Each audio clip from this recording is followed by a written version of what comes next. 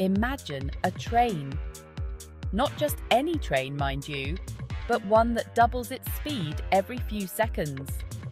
It started slow, almost imperceptible. But now, now it's a blur, a whirlwind of momentum hurtling towards a destination we can barely comprehend. That, my friends, is the essence of technological progress. And the singularity? Well, that's the moment this runaway train blasts off the tracks and into a whole new dimension of existence. We live in an age where our smartphones hold more computing power than the Apollo missions, where artificial intelligence is no longer confined to science fiction, but is writing our emails and composing symphonies. The pace of change is dizzying, exhilarating, and, let's be honest, a tad terrifying. But here's the kicker it's only going to get faster. The singularity posits a future where technological growth becomes uncontrollable, leading to unimaginable advancements in artificial intelligence, nanotechnology, and perhaps even the very fabric of reality itself. Buckle up, folks, because things are about to get really weird. Okay, so we've established that the singularity involves a whole lot of fast and a dash of whoa. But what does it actually mean? Well, that's where things get a little fuzzy. You see, the singularity isn't your typical Tuesday afternoon prediction. It's less about pinpointing a date on the calendar and more about understanding a trajectory, a point in time where our current models of understanding simply break down. Imagine a moment when our technological growth becomes so rapid and profound that it fundamentally changes the way we live, think, and interact with the world around us. Think of it like this Imagine trying to explain the concept of the internet to a Neanderthal. You could try to describe the vast networks, the instant communication, the cat videos, but would they truly grasp the sheer magnitude of it all? Probably not. And that's the challenge with defining the singularity.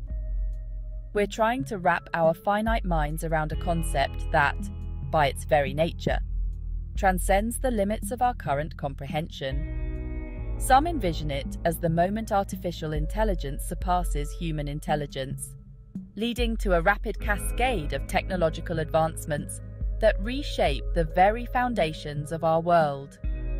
Others believe it signifies a merging of human consciousness with technology, a transcendence of our biological limitations into a new era of digital enlightenment, or perhaps digital oblivion, depending on your perspective. But let's dive deeper. The singularity could also mean the point where we achieve a level of technological sophistication that allows us to solve some of humanity's most pressing problems. Imagine eradicating diseases, ending poverty, or even reversing climate change. The possibilities are as vast as the universe itself. However, with great power comes great responsibility. The singularity could also bring about challenges and ethical dilemmas we've never faced before. How do we ensure that such powerful technologies are used for the greater good? Who gets to decide what the greater good is? And then there's the question of control.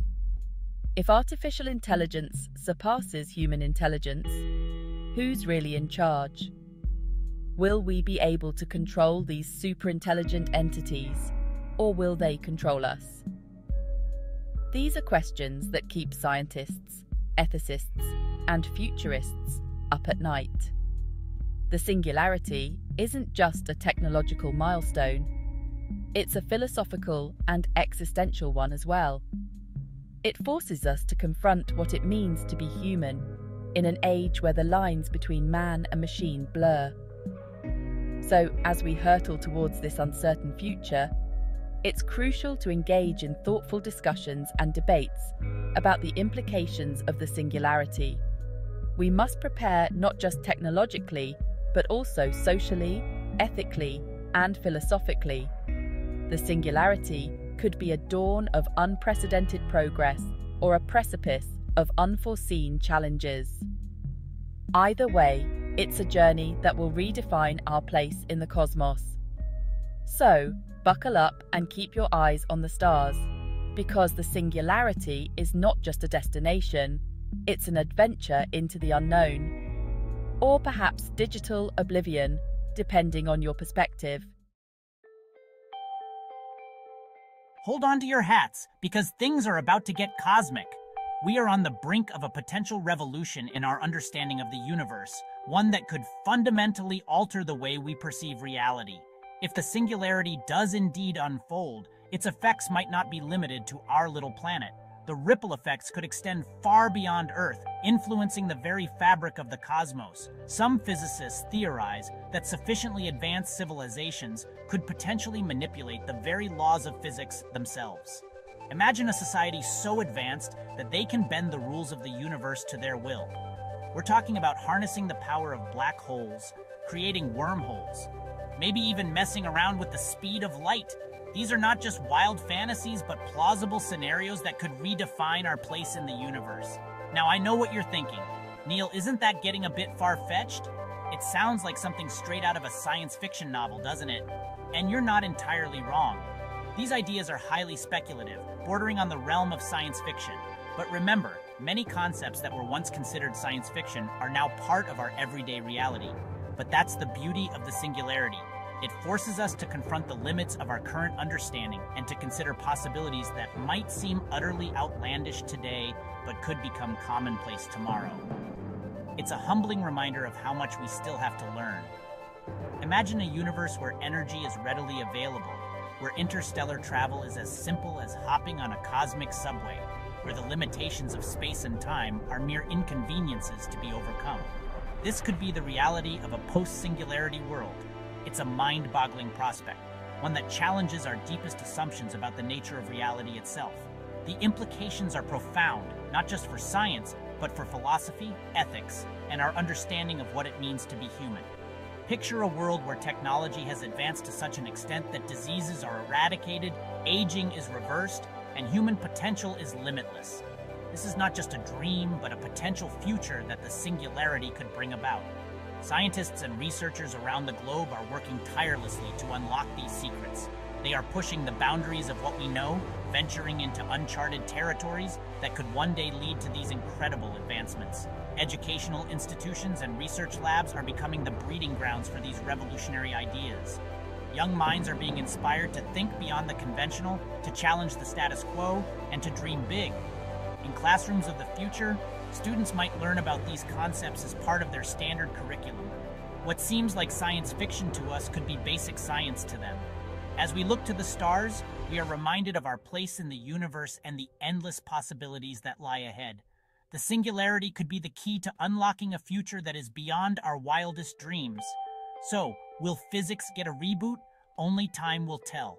But one thing is certain the journey to find out will be an adventure like no other.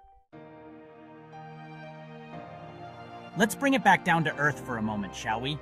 The concept of the singularity often feels like a distant, almost science fictional event, but its implications are much closer to home than we might think. While the singularity might have mind bending implications for the cosmos, its most immediate impact will be felt right here at home, on humanity itself. This isn't just about far off galaxies or abstract theories, it's about the very fabric of our daily lives and how we interact with the world around us. As technology advances at an exponential rate, we're approaching a crossroads. This isn't a gradual change, it's a rapid acceleration that's pushing us towards decisions that could redefine what it means to be human. On one hand, we have the potential to enhance our abilities, to eradicate disease, to extend our lifespans, essentially upgrading ourselves into a new species of superhumans. Imagine a world where genetic disorders are a thing of the past, where aging is slowed or even reversed, and where our physical and mental capabilities are vastly improved. Imagine a world where disabilities are a thing of the past, where our minds are augmented with instant access to the sum total of human knowledge, where we can communicate telepathically with each other. This isn't just a dream, it's a potential reality that could be within our grasp in the not so distant future. It's a future brimming with possibilities, a chance to transcend our current limitations and unlock the full potential of the human species. We could become more than we ever thought possible, breaking free from the constraints that have held us back for millennia. But there's a flip side to this coin. With great power comes great responsibility, and the path to this future is fraught with potential pitfalls. As we merge with technology, do we risk losing something essential about what it means to be human? Our emotions, our creativity, our very essence? Could these be compromised in the pursuit of technological perfection? Will we become slaves to our own creations, our lives dictated by algorithms and artificial intelligence? The very tools designed to enhance our lives could end up controlling them, leading us into a dystopian future where our autonomy is a thing of the past. And what about the ethical implications of creating a society where some have access to these enhancements while others are left behind? The divide between the haves and the have nots could become even more pronounced, leading to social unrest and inequality on an unprecedented scale we must consider not just the technological possibilities, but also the moral and ethical responsibilities that come with them. As we stand on the brink of this new era, it's crucial to engage in open, inclusive discussions about the future we want to create. We need to weigh the benefits against the risks and ensure that the advancements we pursue are in the best interest of all humanity, not just a privileged few. Visionary leaders, scientists, and ethicists must come together to shape a future that balances technological progress with the preservation of our humanity. It's a delicate balance, but one that we must strive to achieve if we are to navigate the challenges and opportunities that lie ahead. The future is not set in stone. It is a canvas waiting to be painted with the choices we make today. By approaching these advancements with caution, wisdom, and a deep respect for our shared humanity, we can create a future that is not only technologically advanced, but also profoundly human.